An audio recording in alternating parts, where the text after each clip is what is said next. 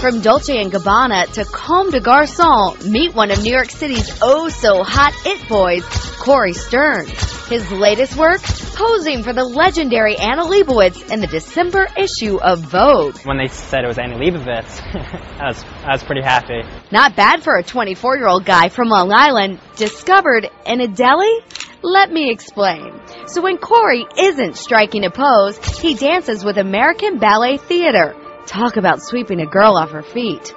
But it wasn't his amazing ability to dance that landed him the modeling gigs. After working up an appetite in rehearsals, he headed out to grab some grub at this deli. I was in Andy's deli getting a sandwich at lunch, and there was an agent getting lunch too. And he spotted me, and I guess and he approached me and said, "Do you have a, you know, do you have an agency that you're part of?" Cory's a smart guy, so he was a little skeptical of any sandwich special that came with a modeling contract. I had heard rumors about people scamming you and so I wasn't about to, I was like a little apprehensive. But it all checked out and the high fashion jobs came rolling in.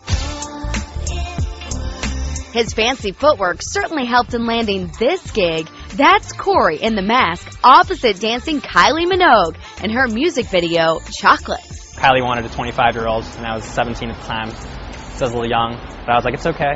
I'm mature. Clearly, it was okay with Kylie too. And if you single ladies want to know if Cory's got any openings on his dance card, I prefer uh, dancers. uh, at the moment, I'm single.